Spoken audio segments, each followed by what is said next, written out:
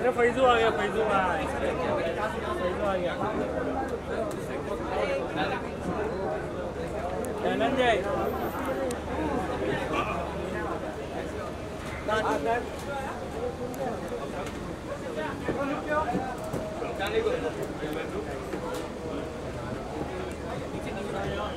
Yeah.